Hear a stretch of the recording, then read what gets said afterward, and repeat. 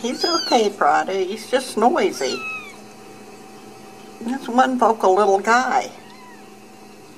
He's all right. There's nothing wrong with him. Makes you nervous, doesn't he? Yeah. Mm-hmm.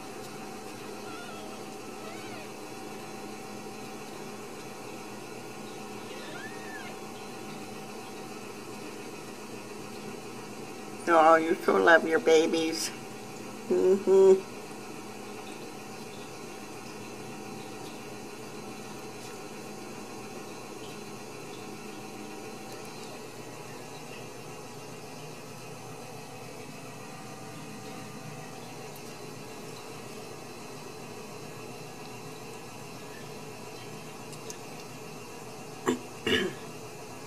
Their colors are really starting to come in.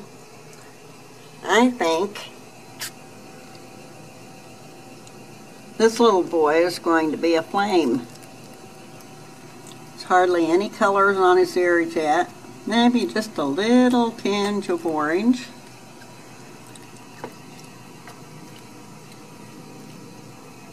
And this one is either a seal or blue, I think.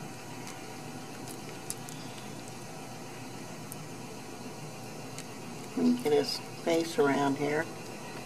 He will most likely be a bicolor. There isn't any color on his nose yet. This little guy over here, I think is a seal. He's going to be a pointed one. His nose is colored already. And this one here is exciting. I think she's going to be either a blue or a lilac tortie. That's probably hard for you to see, but I can see some, see there's an orange, kind of an orange tip on the ear. And she is our only female.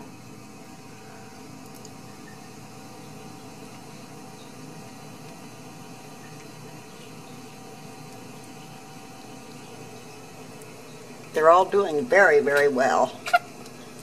Gaining like crazy, very active.